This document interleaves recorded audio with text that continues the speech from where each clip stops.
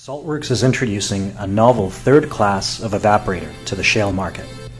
It has no direct contact of produced water with atmosphere, preventing harmful air emissions, and produces no liquid distilled water byproduct that must be managed under a lengthy permitting process.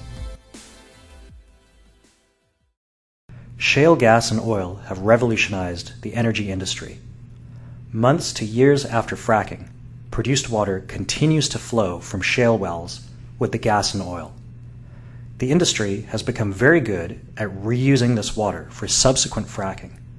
However, if they cannot frack, or if there are no nearby disposal wells, then produced water must be transported to disposal or reuse areas, often at a high cost.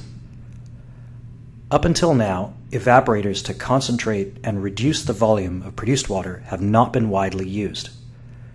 Conventional closed evaporators produce a distilled water which requires management and discharge, often a lengthy permitting process.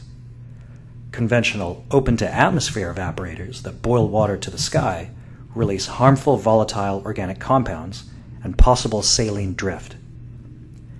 Saltworks has developed a new third class of evaporator called the AirBreather. It has no direct contact of produced water to atmosphere, resulting in no release of emissions or drift and it does not produce a distilled water byproduct that needs to be managed and discharged. The technology was proven in a highly successful pilot at a live shale site in the Marcellus Basin of the eastern United States.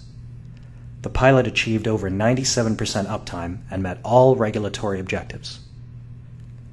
The AirBreather is delivered in a rugged modular package in 600 barrel per day volume reduction increments and as a service such that clients can economically reduce their produced water volume prior to trucking and lower the risks and greenhouse gas impacts associated with off-site transport.